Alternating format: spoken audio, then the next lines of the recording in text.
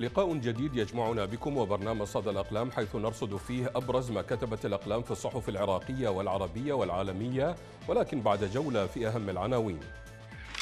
في صحيفة البصائر دعوات لمليونية نحو ساحة التحرير ردا على تصعيد ميليشيا سرايا السلام. في موقع الهيئنات متظاهرو التحرير يسيطرون من جديد على المطعم التركي بعد انسحاب القبعات الزرق. في المدى خلاف داخل البيت الصدري على خلفية تهجم القبعات ودعم علاوي. في الزمان أنصار في الزمان مواجهة في الديوانية مع أنصار الصدر والناصرية تصر على إكمال مشوارها. في العربية الجديدة العراق تواصل الاحتجاجات وضغوط على الصدر لسحب القبعات الزرق. في صحيفة الشرق الأوسط مظاهرات طلابية رفضا لعلاوي والأحزاب الفاسدة.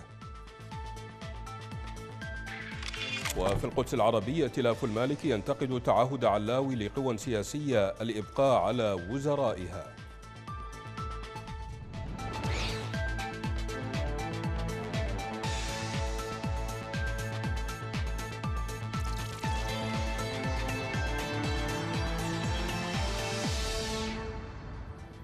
السلام عليكم قال صحيفة العرب اللندنية إن الشارع العراقي المنتفض يسير منذ أربعة أشهر ضد نظام المحاصصة بقيادة الأحزاب الطائفية نحو إنهاء الهالة الأسطورية التي نسجها لنفسه مقتدى الصدر بتسويق نفسه ثوريا ومصلحا ومنحازا لقضايا الطبقة الفقيرة. وأضافت الصحيفة أن الشارع العراقي يظهر وعيا بمناورات الصدر ويرفض الانقياد له. رغم المشاركة الكثيفة لأنصاره في التظاهرات والاعتصامات. يكاد مقتدى الصدر بانخراطه بفعالية في جهود إخماد الانتفاضة يستهلك كل رصيده من الشعبية الذي استمده أصلا من مكانة أسرته في مجال التدين الشيعي وبأدائه دور المعارض لشخصيات نافذة ذات سمعة سيئة لدى الشارع وفي مقدمتها رئيس الوزراء الأسبق نور المالكي. ومع استعصاء الاحتجاجات غير المسبوقة عن الإخماد بمختلف الطرق من الإغراء بوعود الإصلاح والتغيير وتحسين الأوضاع الاجتماعية وتوفير مناصب الشغل للشبان إلى قمع المتظاهرين بقتل بعضهم في ساحات الاحتجاج والتظاهر واغتيال البعض الآخر في مواطن الإقامة والعمل واختطاف آخرين وإخفائهم قسريا حتمت الحاجة إلى إنقاذ النظام الذي أصبح إسقاطه هدفا معلنا للمحتجين. أن يتم اللجوء إلى مقتدى الصدر ليس فقط من قبل أركان النظام لكن أيضا من قبل إيران المهتمة بالحفاظ على النظام العراقي الموالي لها. رغم أنها لم تكن في السابق تثق في كفاءة الصدر وتفضل عليه قادة أحزاب وميليشيات آخرين. الصدر بلغ مرحلة الطلاق النهائي مع الشارع عندما تحول من أسلوب المناورة السياسية لإخماد الانتفاضة إلى الانخراط بشكل مباشر في قمعها جنبا إلى جنب مع القوات الأمنية وباقي الميليشيات الشيعية التي كثيرا ما كان يهاجمها في أوقات سابقة واصفا إياها بالميليشيات الوقحة وتختتم الصحيفة بالقول إن هيبة مقتدى الصدر انكسرت ولم يعد بالإمكان إصلاحها وأنه بدد مشروعيته الشعبية في مغامرة التمترس إلى جانب إيران ونظام المحاصصة.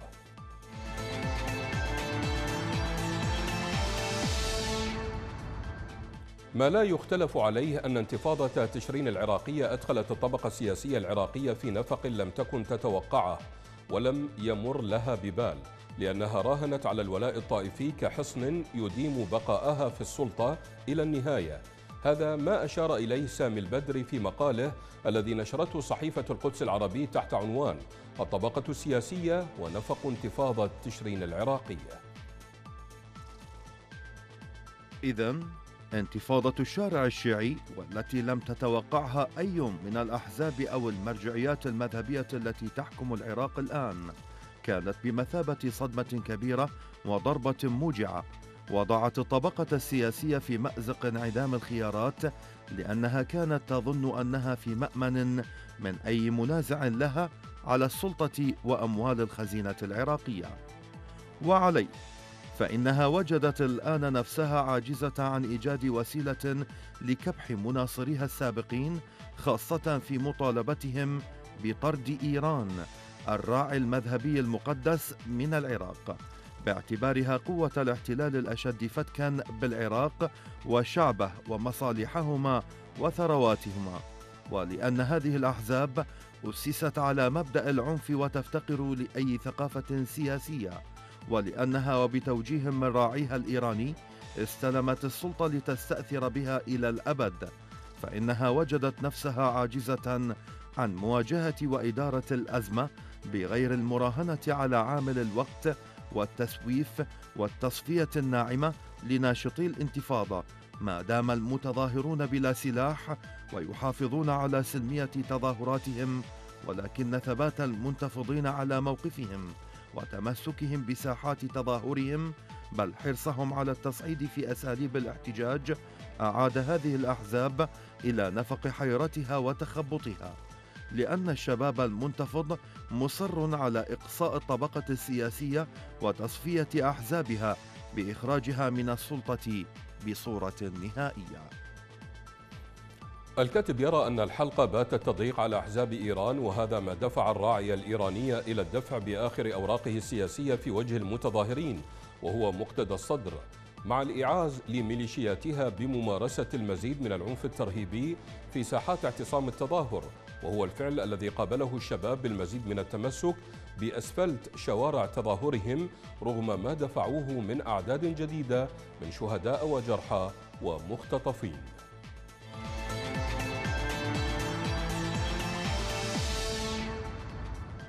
عاد الجدل حول سياسة تغيير الوجوه السياسية في العراق بدلا من السياسات والتوجهات الوطنية بعد أن تأكد للمحتجين البعيدين عن أي مصالح حزبية أو طائفية أن رئيس الحكومة المكلف محمد توفيق علاوي هو أحد التابعين للأحزاب الحاكمة التي رفضها الشعب.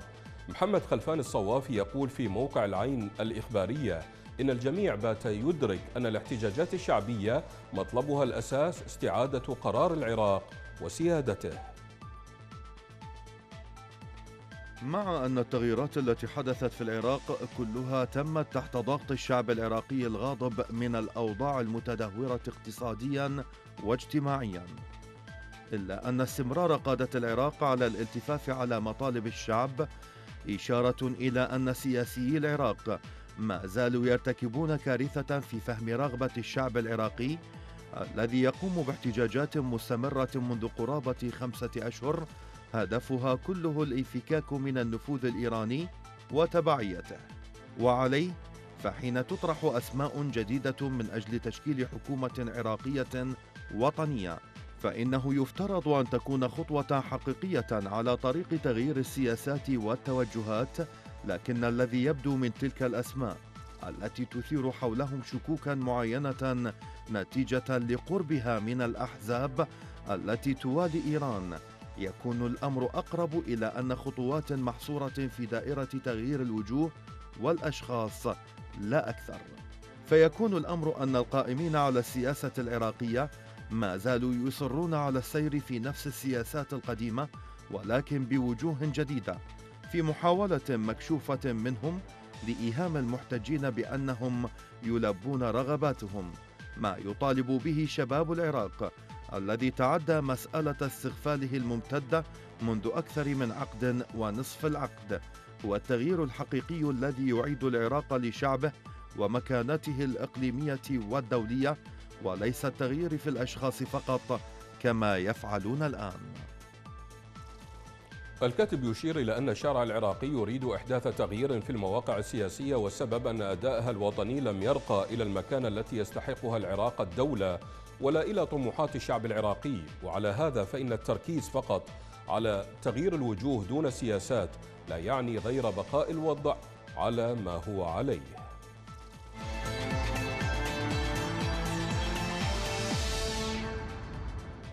ما حاجة العراق إلى حكومة جديدة بحقائب متكاملة إذا كان القصد هو عبور مرحلة من عدة شهور والإعداد للانتخابات المبكرة.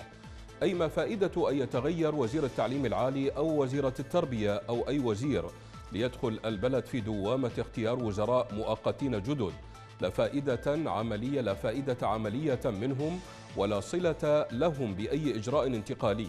فيما لو كان هناك توجه حقيقي لانتخابات مبكرة ونزيهة ومراقبة من قبل الأمم المتحدة. هذا ما تساءل عنه فاتح عبد السلام في مقاله بصحيفة الزمان.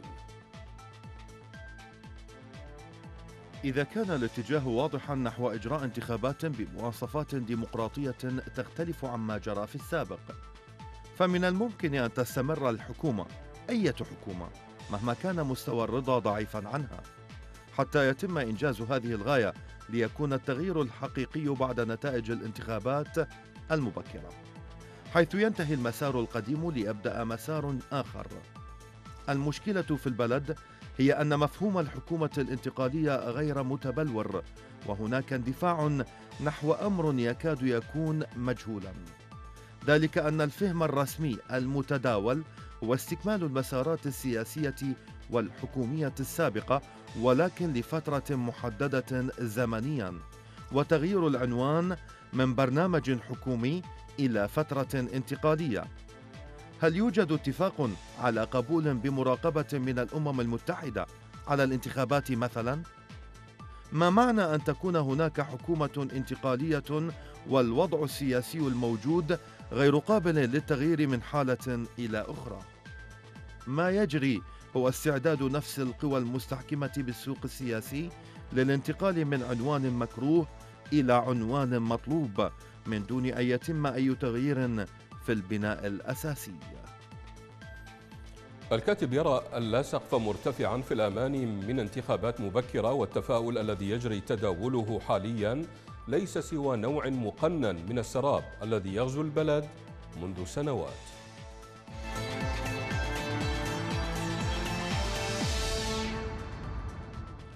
سلطت مجلة ذا أتلانتيك الأمريكية الضوء على قرار البرلمان العراقي القاضي بخروج القوات الأمريكية من العراق مؤكدة أن المكان الوحيد الذي لا يريد الرئيس الأمريكي دونالد ترامب مغادرته هو العراق. فيما تحدثت عن أبرز الأسباب التي تجعله يرغب بالبقاء وذكرت المجلة في تقريرها أن ترامب فشل في الحصول على انسحاب سريع من أفغانستان وسوريا لكنه لم يقدم أي وعد من هذا القبيل للعراق. المجلة تساءلت لماذا العراق هو البلد الوحيد الذي يبدو أن ترامب يريد الالتفاف حوله خاصة منذ أن شارك في حملته لمعارضة حرب 2003 هناك. مضيفة أنه بالنظر إلى تصريحات ترامب بأنه هزم داعش. لم يستخدم النصر المفترض للخروج من العراق وكذلك سوريا إلى الحد الذي يهتم فيه ترامب بالعراق على الإطلاق. وأوضحت أن الجواب الذي ينبثق من المحادثات مع المسؤولين والمستشارين الحاليين والسابقين يتلخص في ثلاثة من أعداء ترامب الرئيسيين وهم داعش وباراك أوباما وإيران. وأشارت المجلة إلى أن ترامب بات على مسار عام 2016 على الرغم من أسفه أيضا للولايات المتحدة التي دخلت العراق على الإطلاق. وإقدام أوباما على سحب قواته من العراق عام 2011 لافتة إلى أن عودة داعش أجبرت العراق على دعوة الجيش الأمريكي للعودة لمحاربة داعش. وأوضحت أن ترامب على الرغم من شكواه الخاصة والعامة حول التكاليف إلا أنه لم يعد بالانسحاب من العراق وأكدت المجلة أن مجلس النواب يمارس ضغوطا على الإدارة لتقييد ما يمكن أن يفعله الجيش الأمريكي في العراق. وفي هذه الأثناء يضغط الدبلوماسيون الأمريكيون على دول الناتو لتولي دورا أكبر هناك. واختتمت المجلة تقريرها قائلة إن موقف ترامب بشأن العراق يجسد الكثير من التوترات في نظرته للعالم. وإنه يكره الحروب وإنه يدعي أنه لم يرغب أبدا في الدخول إلى العراق لكنه يدين الطريقة التي خرج بها أوباما إضافة إلى أنه يكره نفقة البقاء في العراق. لكن أكثر من ذلك يكره ترامب إخبارك بما يجب عمله وإذا لم تتمكن من مغادرة العراق بشروطه الخاصة فهو لا يريد الذهاب على الإطلاق.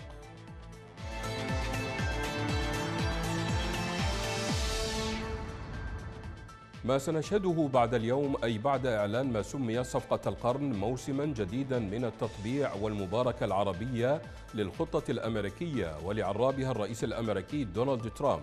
علي أنوزلا يقول في صحيفة العربي الجديد أنوزلا إن مرحلة التسخينات التي تسبق بداية العد العكسي لسباق الهرولة العربية نحو التطبيع مع الكيان الصهيوني قد بدأت. أول من دشن موسم التطبيع الجديد هو الجنرال السوداني عبد الفتاح البرهان الذي التقى رئيس الوزراء الإسرائيلي بنيامين نتنياهو في أوغندا.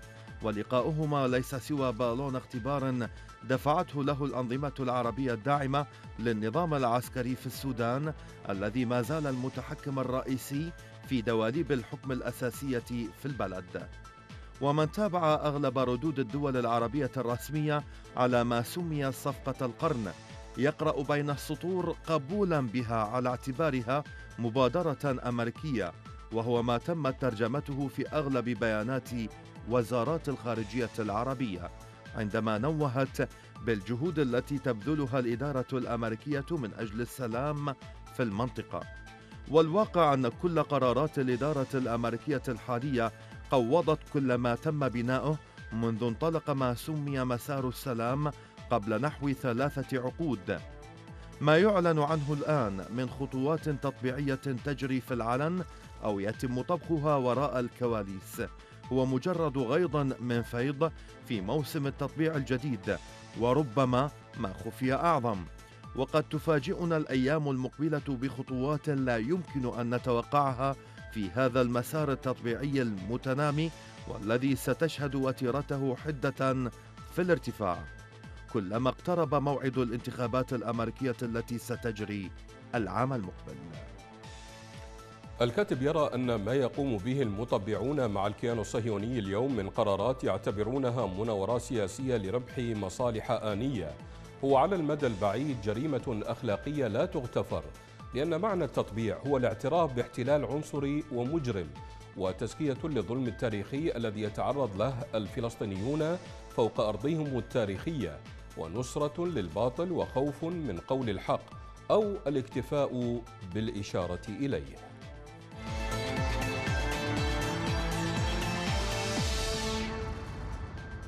طور باحثو معهد ماساتشوستس للتكنولوجيا طريقة جديدة لتسجيل تاريخ تلقيح المريض.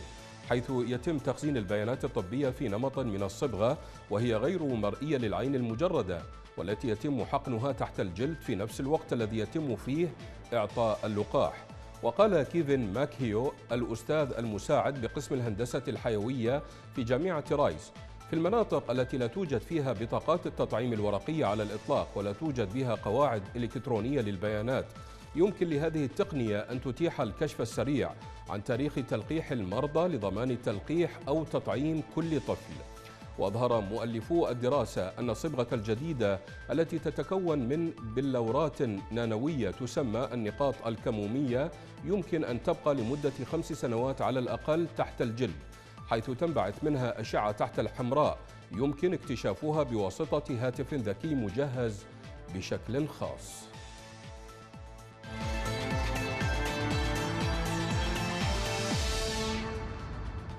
الرسوم الكاريكاتورية لها أسلوبها الخاص في وصف الأحداث حول العالم.